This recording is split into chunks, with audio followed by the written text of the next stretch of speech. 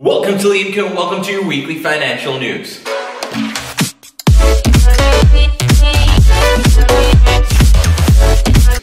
Welcome to LeonCo, and on this week's financial news, we want to discuss something that is happening to this day, and something that maybe it will continue to happen for the next couple of weeks, maybe even the next couple of months, and that is the trying to crash economy or not so stable economy versus the Fed. And why do we say it like this? Well, if you've been following the news, if you've been following any sort of financial, uh, your local news or your nationwide news, you've noticed that the Fed has done everything in their hands and they are saying and promising that they will do anything that's in their hands and in their power to try and keep the economy stable, to try and keep the economy going back up. Well, this is not the reality that is happening in the economy. Even though they are printing money, even though they are giving all of these loans, giving all these helps, they keep buying bonds from company,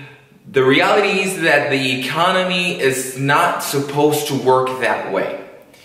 The economy needs people to start going back to work, to start generating money on their own, to start investing their money, spending their money, and keep that wheel working of spending, earning, spending, investing, earning, and so on and so forth.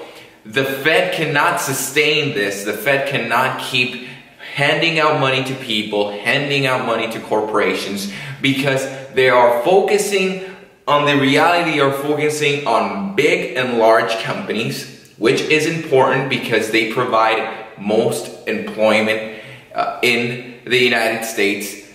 They are trying to provide trying to provide for the people here down below, but they are forgetting about these people in between, these small businesses, these small restaurants, that's family-owned businesses. Those are the real key market indicators in the economy because they are the ones that have most impact in your local economy. And they have the most impact on the surrounding economy around them. Because if you live in a town where all of the local markets, all of the local businesses are closed, you would expect that the price of your real estate is going to go down unless some big corporation or some big money investor swipes everything up and buys and invests in them. But the reality is for those small towns in places that they depend on small businesses and they cannot operate because they are on 25%, there are 50% of capability, they are eventually going to disappear. And why is this a problem? Because the system will not provide for employment for them. Most big companies are receiving money, but they are actually going down on employees. Employees, they are firing employees. They are furloughing employees.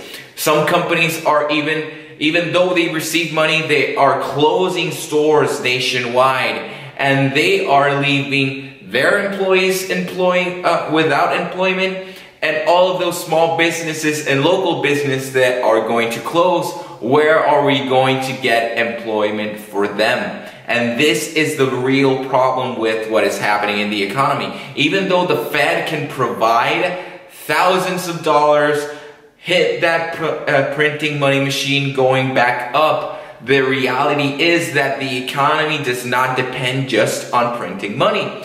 Eventually, that will be uh, turned out to be that the US dollar is going to devaluate in his price because all of that printing that's going on and there is not going to be enough employment, there is not going to be enough economic activity to sustain the economy that the federal government is trying to do.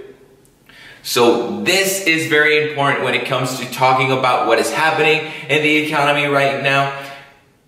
And it's something that we need to keep in perspective. We hope, we pray that we can move past everything that is going to ha going happening throughout these couple of months. But the reality is that a vaccine or a treatment is going to take a while. This is not going to be something that is immediate. And the stock market and the economy is starting to notice and if you follow the stock market these past few ways, it's not been going up, it's actually been going down. So, this has been your weekly financial news. Stay safe, stay healthy, and always remember to have that king mentality.